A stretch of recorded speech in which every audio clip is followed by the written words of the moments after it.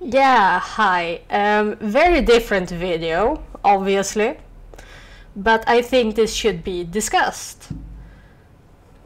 So, obviously, now there is like, oh, Tim Burton's they called racist for casting black actors. well, as bullies. Which is fine. I mean, you do you.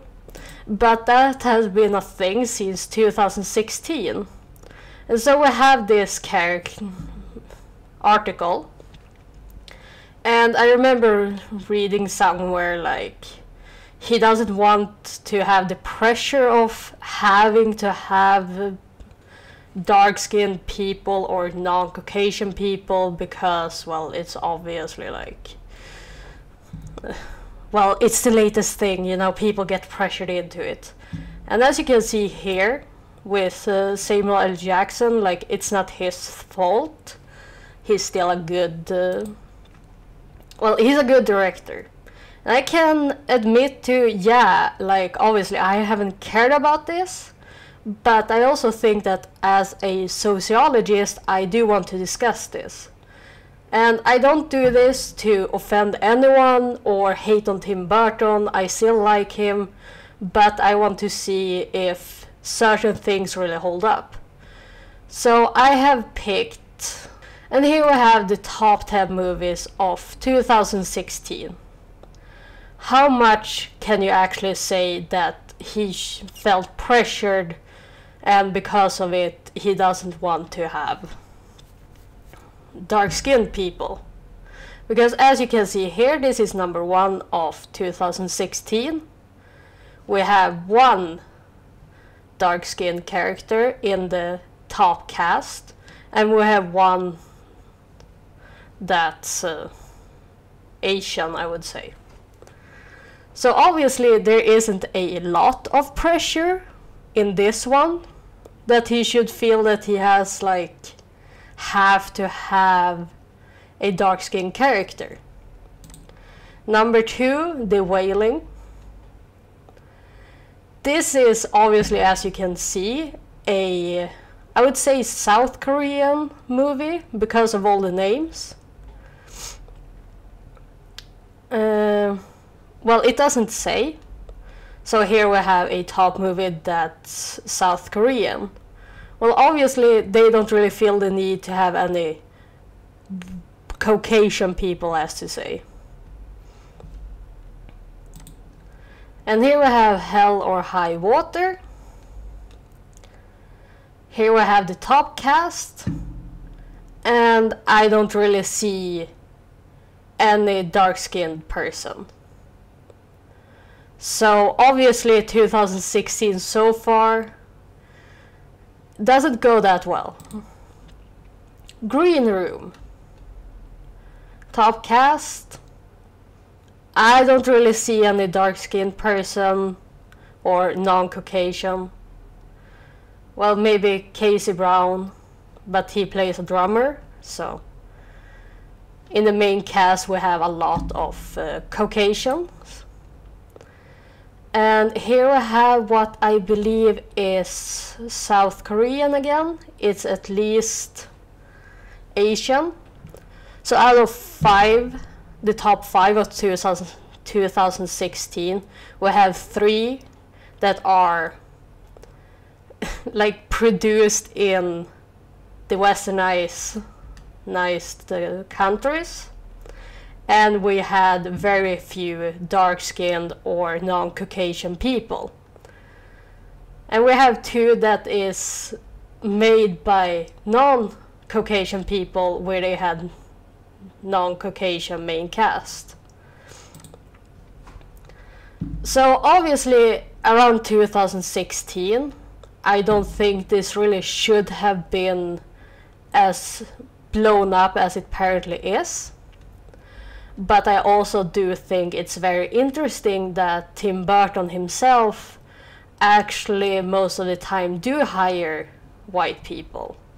Because like for example he does have a lot of uh, what to say stop motion movies.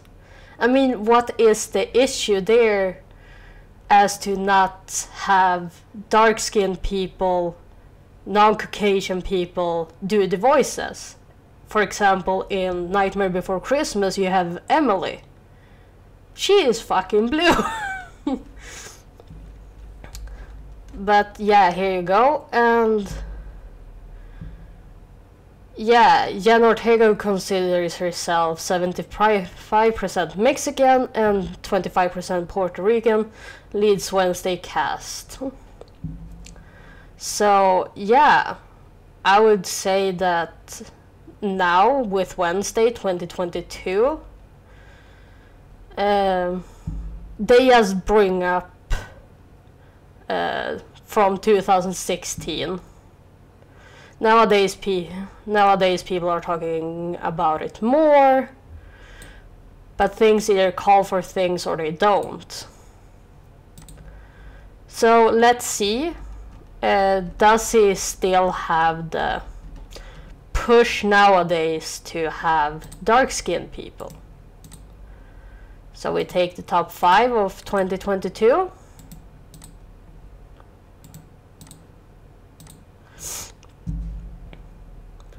And here we have the Banshees of Inisherin. I have never seen any of the movie basically. So we have a lot of unknown in this one, which is the top five. But from those that do have picture, they're all white. so that's that's bad. I don't like that. Uh, everything, everywhere, all at once. So here we can see that it's a little bit more mixed, I have to say, which is good. Though it does seem that it's mostly Asian people and uh, Caucasian people, which is fine yeah, a middle-aged Chinese immigrant, blah, blah, blah, blah, blah. Okay, fine. Top Gun, whoa. Here we see two that I can identify, three and two Asian people, and Danny Ramirez is probably more Mexican, Latin America, that type. So we do have more, which is definitely good. But I would say that overall we do have like some quite white people, as to say. Uh, boiling point. Here we do see around the same as the last one, you do have a bit of like dark skinned people, we have some Mexican, Latin, I don't really know what to call them. But we do have a good variety. In the Batman we have Hmm not as much variety from what I can see. So the biggest thing is the one with the least variety out of the top five. And then we can see Wednesday. Top cast.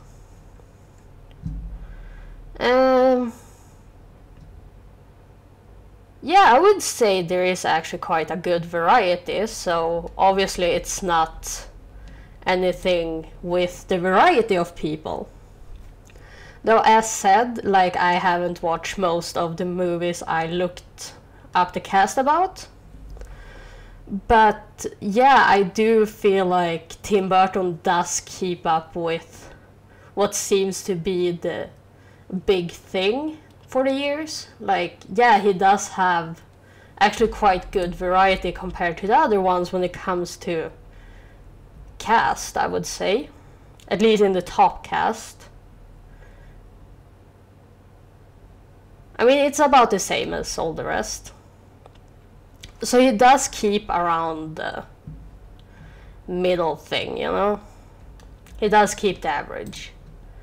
So I do say that I can understand from his point of view that people are overreacting. And I also see why people react so hard since the dark skinned people are mostly bullies apparently. I have not seen it. But uh, yeah, I do find it a bit strange that the movies I remember, which, well, we can just look at it. Um, um, we can take Corpse Bride and Sweeney Todd. No, no, actually we don't do that. Um, yeah. Alice in Wonderland, let's go. That's 2016. As you can see, 2016, very, very white, so to say. And then we can do a Dumbo 2019. Here is also quite white. I mean, we have this dude, you know, the. I'm not gonna pronounce that. And then we also have this Nick, Nico Parker. But otherwise, it's quite white. So, yeah, not like the best.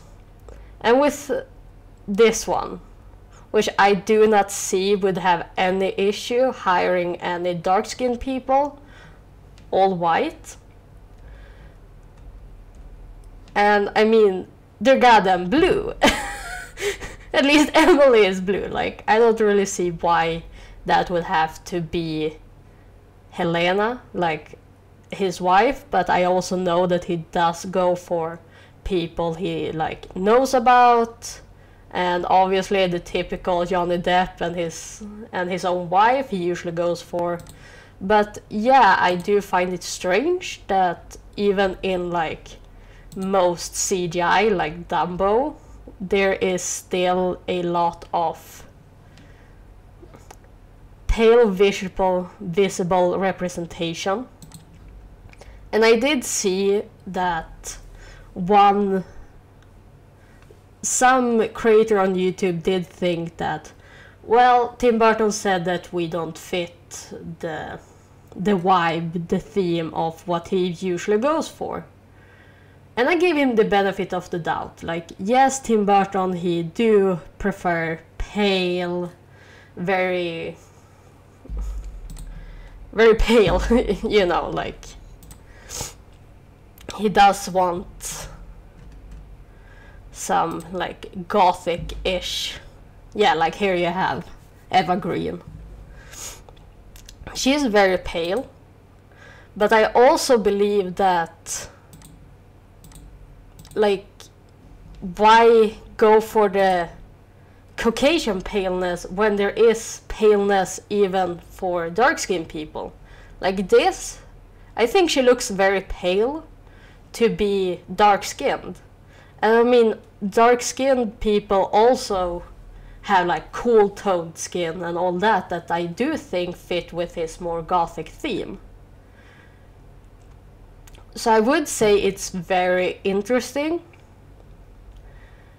I do believe it deserves to be talked about more. I don't think we should hate on everyone, obviously. Uh, this, as I said before, this is not to hate on anyone. This is not to like spread like, oh yeah, we should have less dark people in the industry.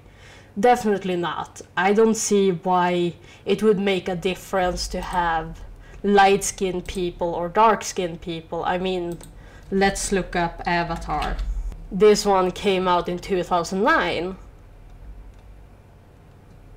and as you can see, they have quite a good representation for being 2009. And why doesn't it matter? Because the main characters are goddamn blue. It doesn't matter. Like, you do you. They're blue either way. So I don't think that Tim Burton should actually talk about the aesthetic, but obviously he can talk about that he doesn't want to feel pressured, which I don't really get because as you see in, in the video, he does keep around the same amount as it usually is for the top five movies of the year. So, stati- if we go from statistics, it's nothing wrong with how he makes the movies. Obviously, it is upsetting that it is darker skinned people that got to be the bullies. But I don't know if he even thinks about it as race or if he just be like, oh yeah, let's. Uh, these guys, they seem good to be bullies. But then we can also discuss the fact that, well, is it subconscious racism or what's going on? So this is obviously a weird, weird, weird video, but I do think uh, this is something to be talked about because I don't think you can fully hate on Tim Burton. Obviously, there is something that should be discussed when it comes to like top movies that why is there quite weird when it comes to like having people of non-Caucasian background in it. Because yes, as you guys saw, it is better, but can we really say it's good? But yeah, uh, please do think about it. Uh, I'm not here to spread hate, as said, so please do not feel offended. This is only to spread knowledge and I am very open to have discussions in the comments about this, though I do want people to stay professional, as to say. I don't want to be like, oh yeah, you're just uh, for Tim Burton.